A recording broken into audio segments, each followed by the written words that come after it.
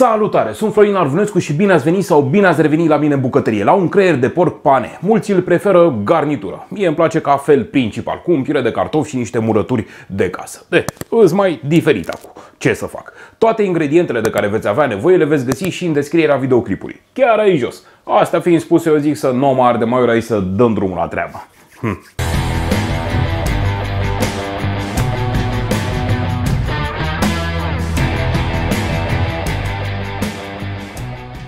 Am aici în jur de 700 de grame de creier de porc. L-am lăsat în jur de 30 de minute în apă rece pentru a scăpa de excesul de sânge. La fiecare 10 minute am schimbat apa, așa că a venit momentul să-l opărim. Avem aici o olicică cu apă, o punem frumos la încins, focul la maxim deocamdată, Ia, ușurel, așezăm frumos olicica, veniți cu vreo două linguri de oțet, turnăm frumos aici, ne va ajuta la închegarea creierului. Gata, suficient. Îl face puțin mai ferm și ne putem juca cu el prin uh, făină, ou, pesmet, uh, pesmet, panco.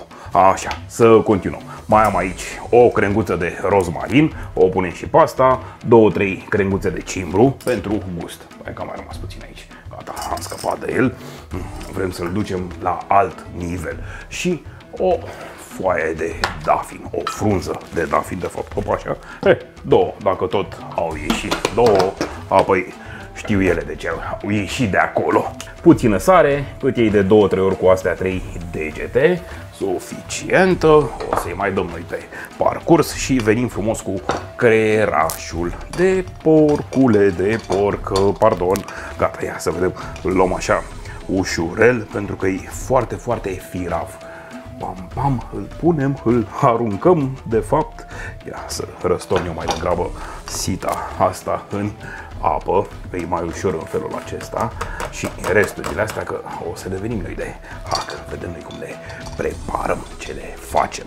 Scăpăm frumos de castron, îl plimbăm puțin prin oală, ușurel, cu grijă, trebuie să fim foarte delicați cu creierașul acesta și după 3 minute de bolborosit îl scoatem într-un castron. Ia, ușurel, cu grijă, fără grabă. Ia, tădăm, Tudum, hai că s-a închegat o leacă. Ce frumușel este. Gata, scăpăm de oală și a făcut treaba. La revedere!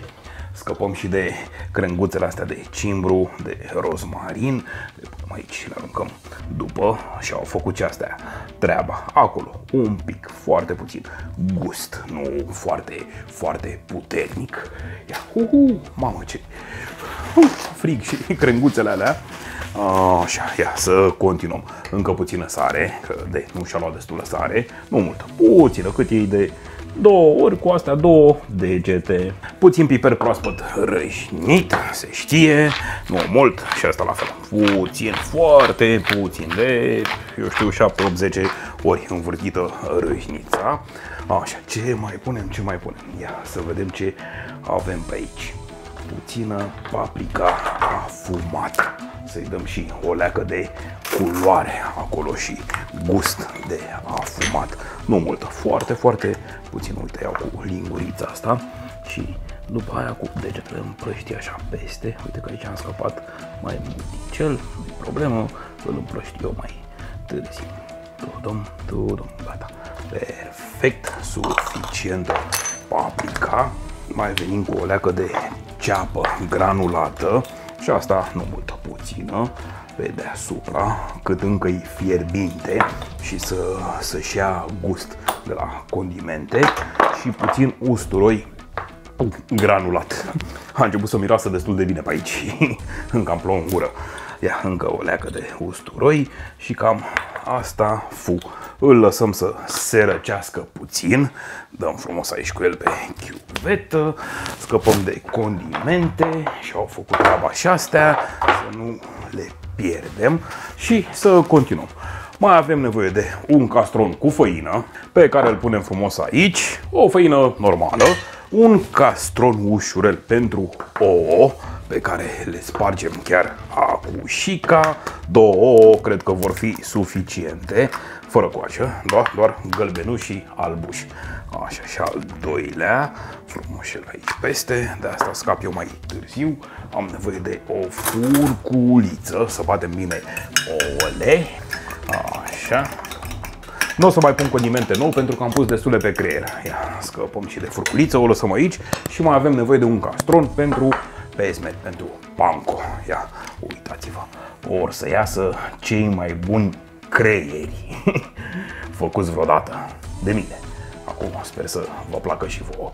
Punem și o tigaie cu ulei la încins, așa, cu am aici, focul să fie mediu spre mare, cam așa, perfect. Și să îmbrăcăm creierul. Ia, prima dată, ușurel, nu s-a răcit suficient, îl tăvălim prin făină, așa pudrăm bine, îl rostogolim, îl dăm de-a dura mai degrabă, da, suficient, pe care ou, o să am nevoie de furculiță, să nu mă murdăresc și pe mâna asta, ca la balamuc să mă fac.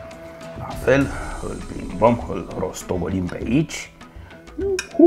Și la final prin panco. Ia, hop, tădum, gata, perfect. Ia las furculița, hai, cu mâna asta, că e deja murdară de făină, îl rostogolim și uitați-vă ce frumos se prinde pe smetul panco de creierașul ăsta. Wow! Să vedeți ce bine o să arate prăjit. Oh, mamă, mamă! Până se încinge bine uleiul, scoatem pe tocător și continuăm cu următoarea bucățică de creier. Ia, asta e mai uhu, micuță sau tot pe acolo. Frumos cu făină.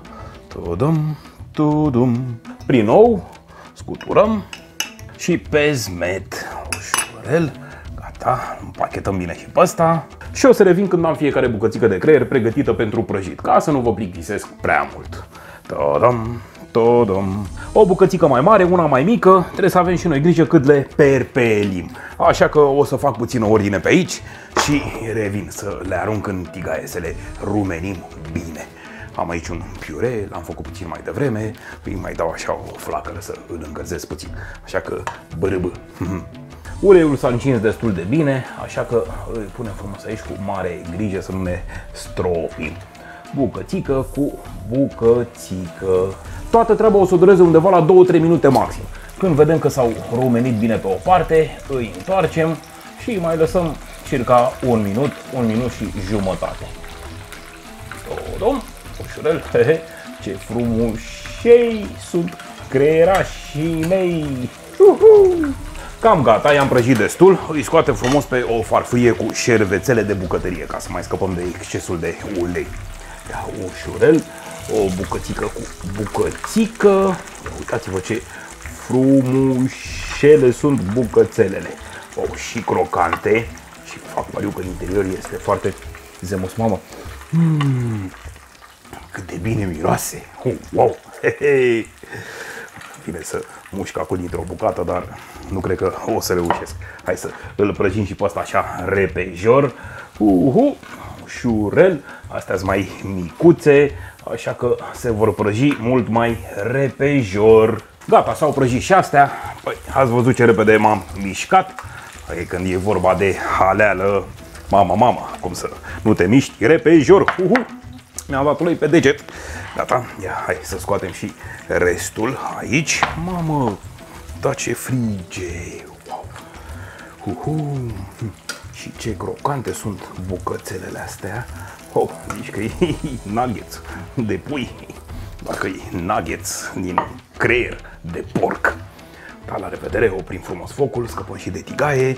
Am aici piureul pe care l-am făcut puțin mai devreme. O să am nevoie de o farfurie. Mai colorat așa. Uite, asta albastră cred că e perfectă. O așezăm frumos aici. Venim prima dată cu două, trei linguri babane de piure. Fix aici în mijloc. Una, hai, două. Gata, astea vor fi suficiente. Facem o găurică aici în mijloc. O aranjăm, de fapt, frumușel. Mai avem ceva de pus. Gata, perfect. Oricum, mai alandal așa mai rustic, puțină ceapă verde. Presărăm așa peste piure Ia uitați-vă ce culoare frumoasă începe să prindă piureul nostru. Uhu, perfect. După care venim cu puțin gogoșar murat. Ăsta e pus de mine.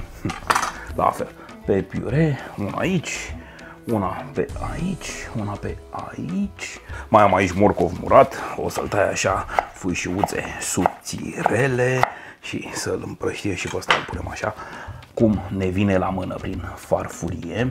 Uhu, să vedeți ce farfurie frumoasă o să avem aici. Mamă, mamă, o nebunie. Mamă, aici gogonea în saramură. Câteva feliuțe și asta îmi în gură. Abia aștept să mă înfig în farfuria asta. Uhu, una, două, trei, gata. Așa, pe aici, pe aici, pe aici și cam asta, fu, aproape și un castravecior murat. Să vedeți și culoare frumoasă are asta în interior. Mamă, mamă, o nebunie de la varza roșie cu care a stat. Ia uitați-vă ce culoare, ce... Oh. Ce gust! Mama! Hmm. Hmm. Hai că pe ăsta îl punem mai, mai târziu. Stai să mai dau o felie că am mâncat-o pe aia venim frumos cu două rondele din asta de creier, una pe aici, una pe aici, să vedem cum îl aranjăm. Și uite, pe asta o voi tăia pe jumătate. Să vedeți cum arată și în interior. Wow. Așa mai câși. Sper să nu îl zdrobesc. Tadam. Wow. Ce parfum a ieșit de aici. Hu, hu, hu perfect. Ia uitați-vă cum arată. Dacă mai venim și cu rondelele astea așa de castravete murat peste, uhu, ușurel, una stânga, una dreapta și mai merge una pe aici, pe undeva, două fire de ceapă verde, până la urmă că am pus și pe piure, mai merge pusă și peste peste castraveți, peste creier și dacă mai venim la mișto așa și cu două, trei bălării, deja avem un preparat de hm, restaurant cu stele aici. Hai că arată bine farfuria, să fim serioși. Ia uitați-vă aici. Tădădădăm, tădăm. Hop, așa, că dărâm ce am construit. Uhu. Perfect. Hai să și gustăm că leșin aici, nu de alta. Puțin piure. Am aici un creieraș deja tăiat. Ia să vedem, să gustăm o leacă.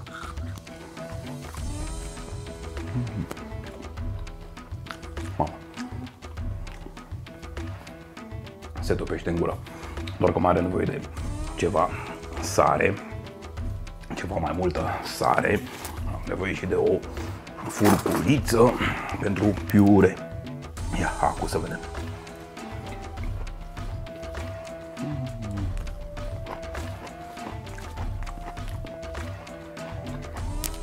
Mamă, și cumpărători.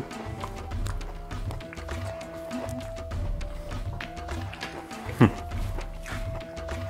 Bobonea asta îi de nota 1000. Hm. N-am cuvinte. Ca să mai iau o bucătură. Hm.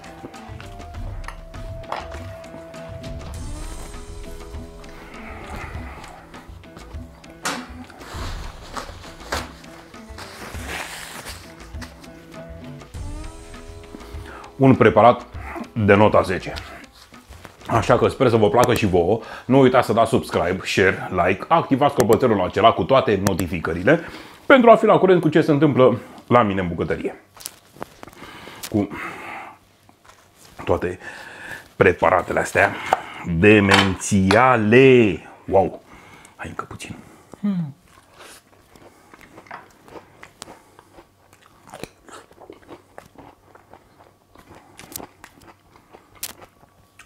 Pus niște murături. Păcat că nu le-am filmat. Hm. Bye, bye. Am treabă.